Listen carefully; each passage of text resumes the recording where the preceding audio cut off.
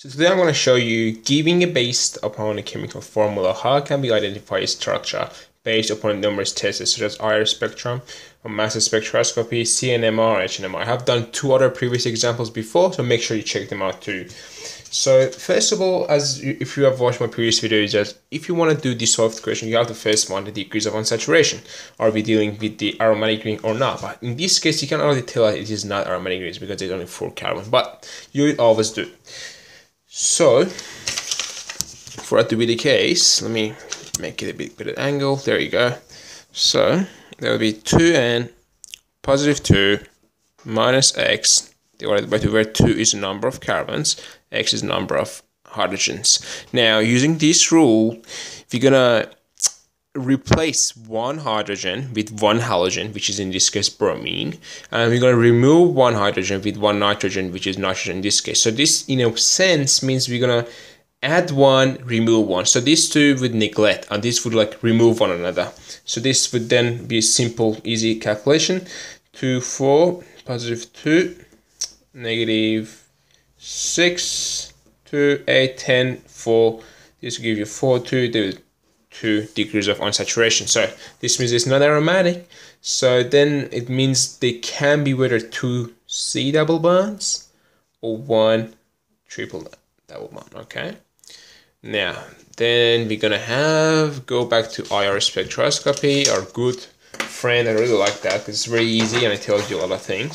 So we have one major peak at 2249. You always have your friends table, which we give it an exam you see here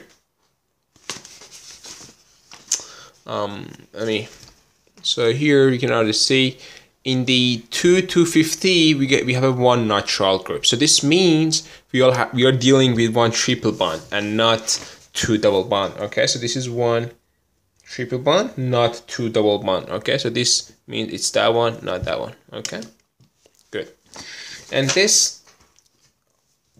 I think because here there is no OH or anything, so there is no like broad peak like that. It's not like so there is no OH, and this usually doesn't tell you anything, right? This peak here doesn't really indicative of strong um, functional group that we can identify. So that's that. So we know it's one CN. Take for that. Then we're gonna go here. Here, what are you gonna do? The the key here is just you subtract this by this and you will see where we left off. So we know 147, negative 68, 79, okay? 79 base pair here. And what is 79? Do we know 79? We have one bromine mass is 79. So this means there's just single bromine. Okay, so this fragment is single bromine, which is interesting.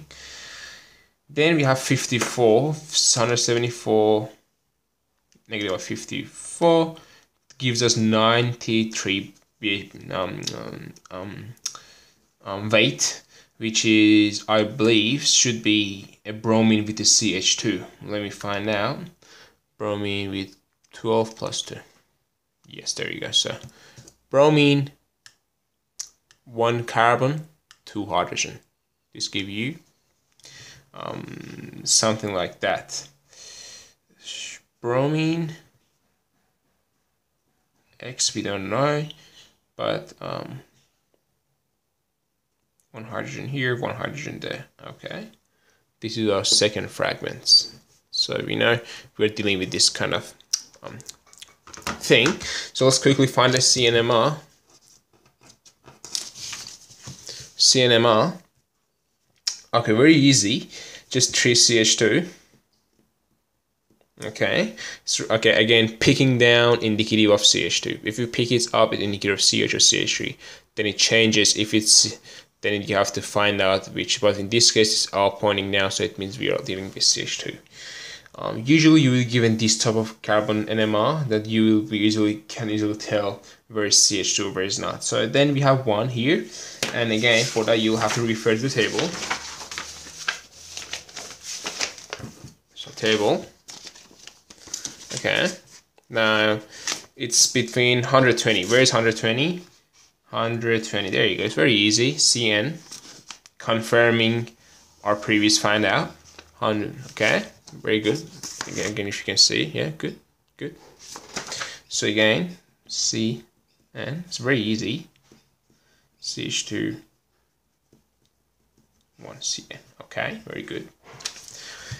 And lastly, here we're gonna just find out how many hydrogens we have. So we have six hydrogen, and we are seeing the um, the ratio is similar between each. So it can be three, three, three. It, it gives us nine. So it must be two H, two H, and two H, giving us a total of what six. Okay. So here it is triplet. So here is triplet, right? Because we're given three, so it's a triplet. Here again is triplet. Here it's multi, um, it's five, which are called multitate. You can say pentate, but usually go with M. So what this means is if, if it's three, it means that there was CH2 here, and with the X, okay?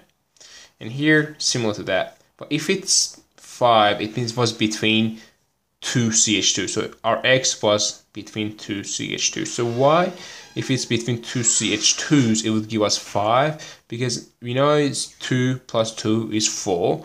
And using n plus 1 rule, it gives us 4 plus 1, 5. Okay.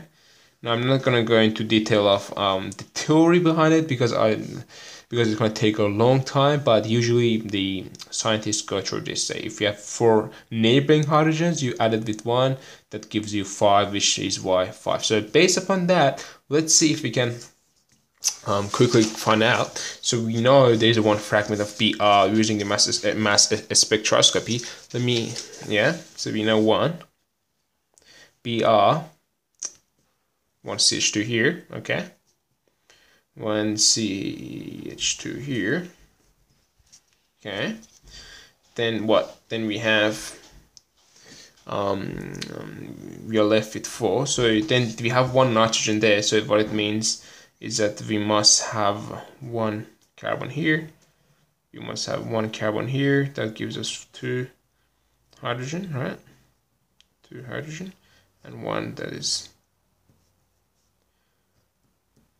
Okay, does it make sense? So what it means is that we have two neighboring hydrogens. Okay, two neighboring hydrogens. So this is let me make it a better one here. So